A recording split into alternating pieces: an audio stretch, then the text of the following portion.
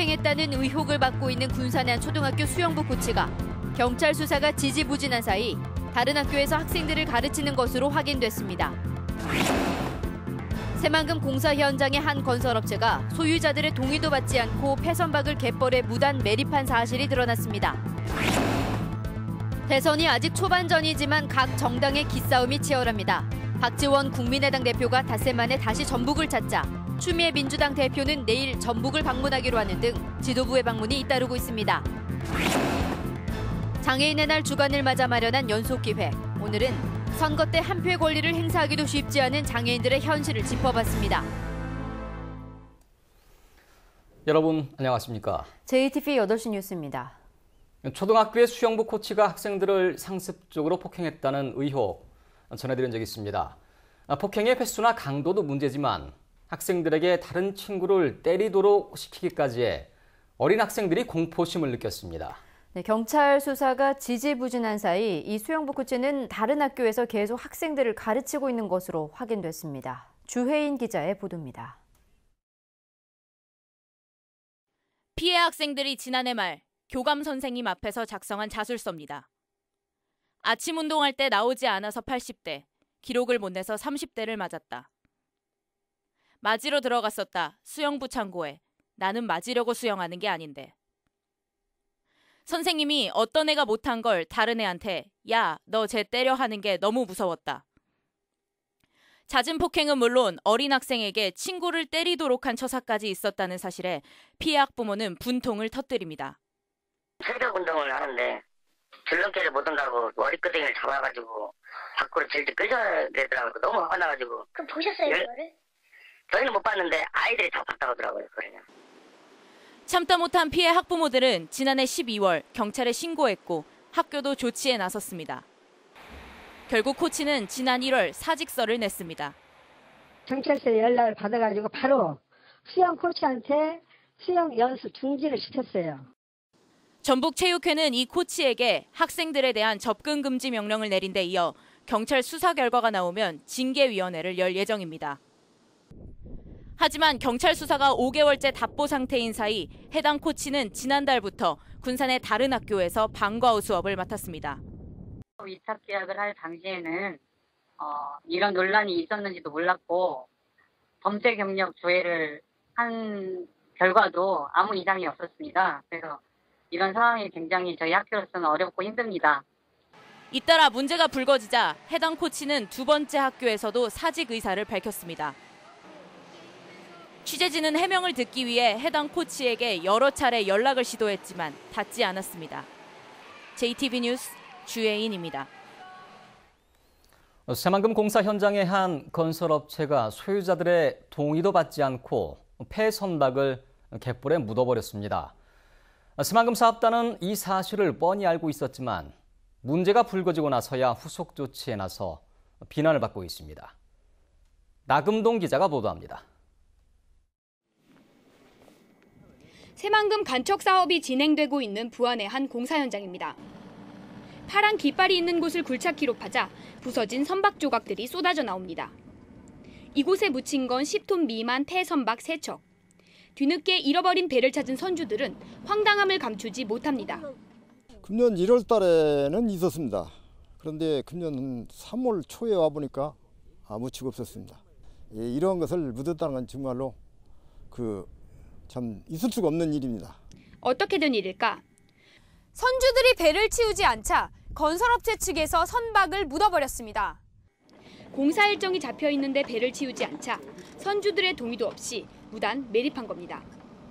건설업체는 선박에 남아있던 폐유 등 환경오염 물질도 함께 갯벌에 묻었습니다. 새만금 사업단은 지난해 4차례 공문을 보냈다고 해명했지만 동의 여부는 차치하고 선박을 땅에 묻는 것 자체가 불법입니다.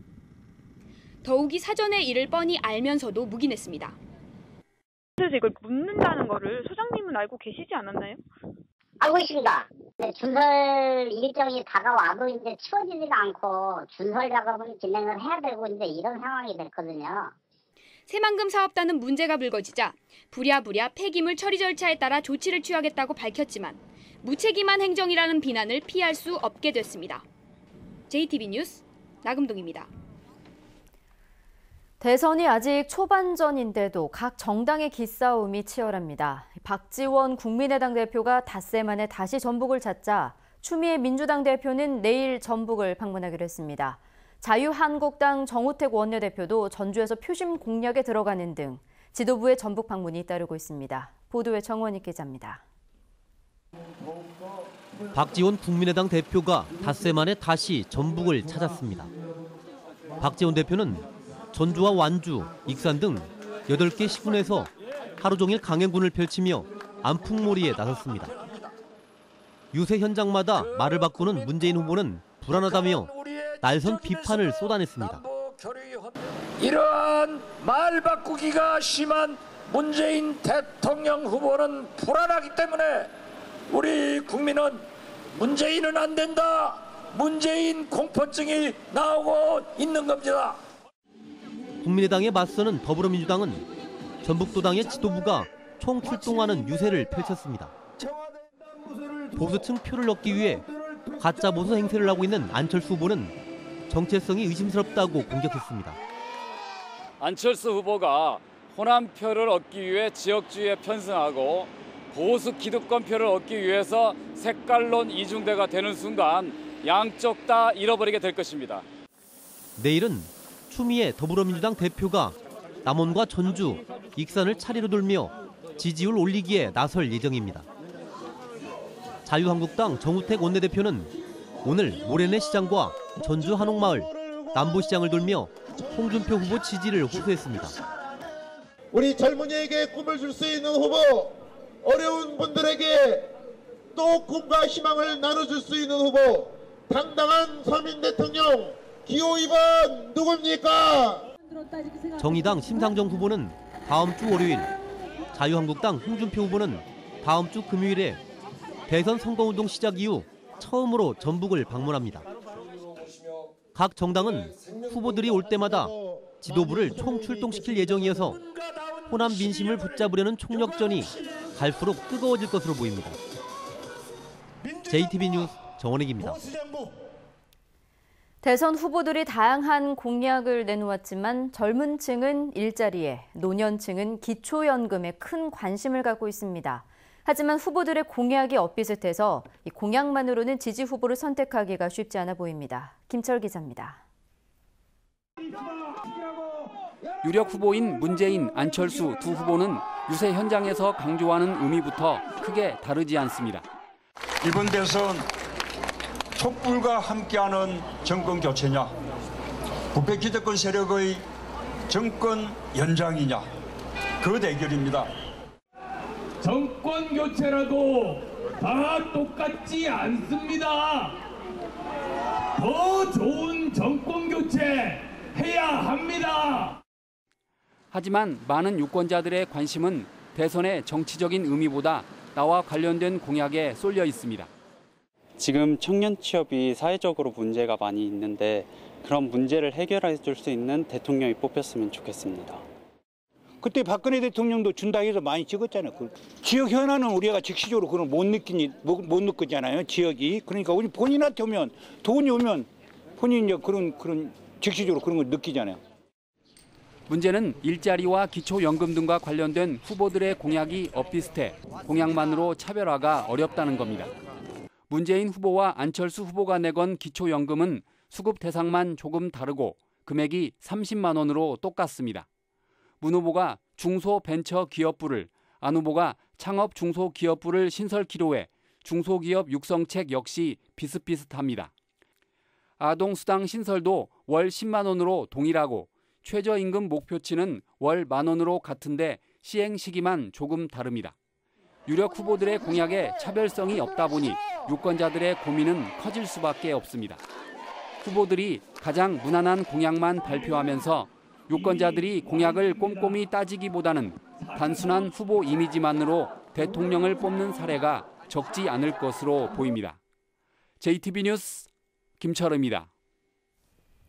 오늘 오전 9시 10분쯤 전주시 서신동 한 초등학교 인근 울타리에 부착된 선거 벽보가 훼손된 것을 지나가던 시민이 발견해 경찰에 신고했습니다. 경찰은 주변 CCTV를 분석해 용의자를 뒤쫓고 있습니다. 익산에서는 자유한국당 홍준표 후보의 현수막이 찢겨진 채 발견됐지만 더불어민주당 유세 차량의 실수로 확인되면서 양 당이 합의해 경찰은 수사를 하지 않기로 했습니다.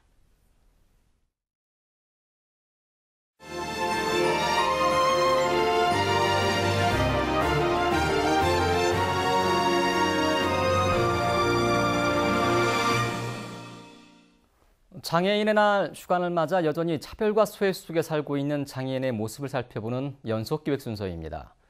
대선 투표일이 이제 20일도 채 남지 않았는데요. 장애인들은 한 표의 권리를 행사하기도 쉽지 않습니다. 송창용 기자가 보도합니다. 시각장애인인 권영문 씨는 지난해 국회의원 선거 때 투표를 하면서 큰 곤란을 겪었습니다. 선거관리위원회에서 마련한 점자 투표용지를 읽을 수 없었던 것입니다.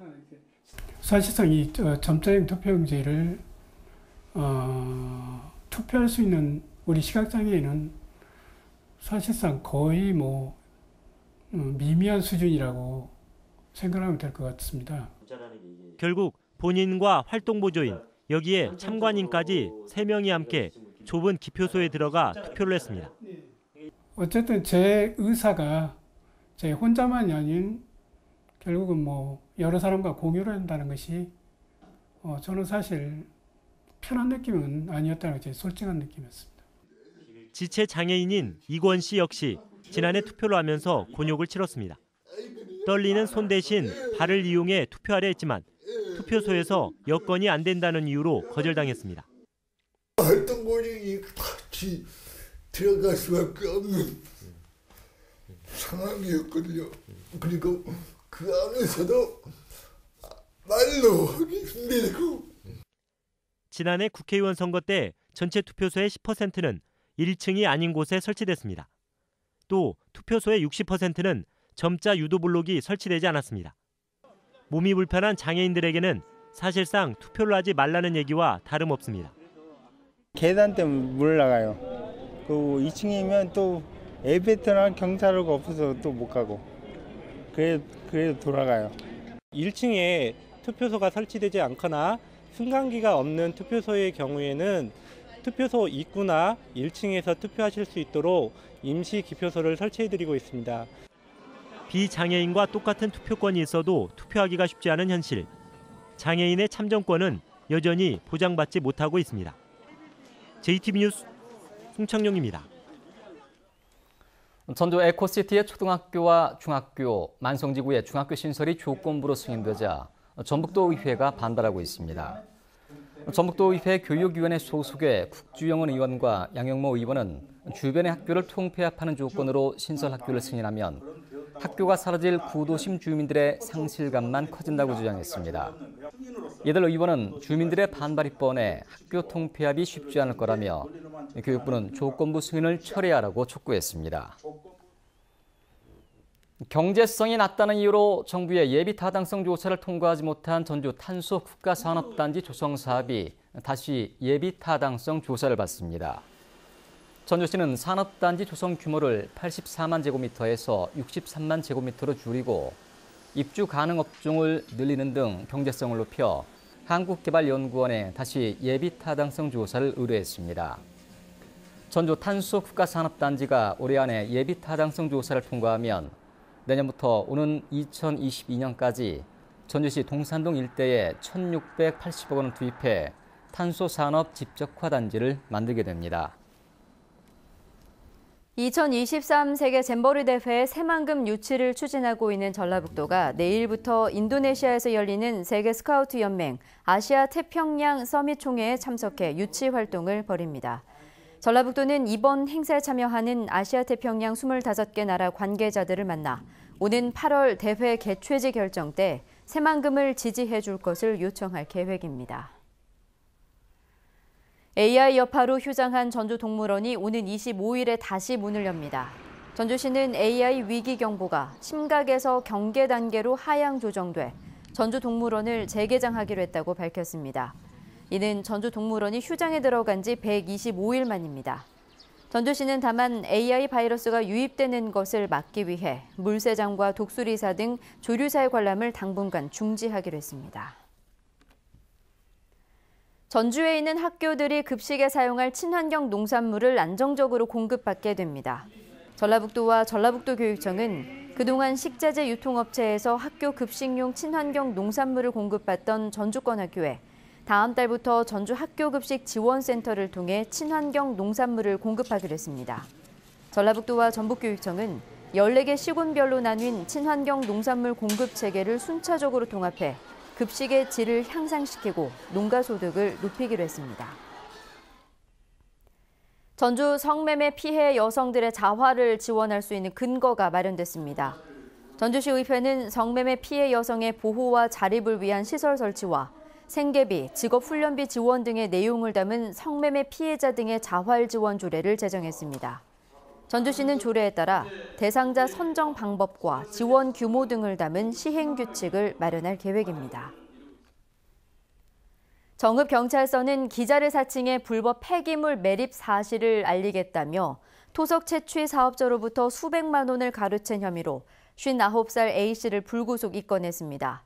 A씨는 지난 2015년 8월 정읍의 한 토속 채취 사업장에 찾아가 기자를 사칭한 뒤 불법으로 매립된 폐기물을 시청에 알리겠다고 협박해 두 차례에 걸쳐 모두 600만 원을 받아 챙긴 혐의입니다. 전주 완산경찰서는 음주교통사고를 낸 혐의로 전주시 8급 공무원 44살 유모 씨를 불구속 입건했습니다. 유 씨는 어젯밤 10시 35분쯤 전주시 완산구의 한 도로에서 혈중 알코올 농도 0.081%의 상태에서 차를 몰다 신호대기 중이던 승용차를 들이받은 혐의로 경찰에 붙잡혔습니다. 전북은 오늘 전주 19도 등 기온이 15도에서 21도에 머물렀습니다. 내일은 새벽부터 아침까지 짙은 안개가 예상돼 운전자들의 주의가 필요합니다. 주말인 내일도 대체로 맑은 가운데 오후 한때 구름이 많겠습니다. 아침 최저 기온은 4도에서 7도, 낮 최고 기온은 18도에서 21도로 오늘과 비슷하겠습니다.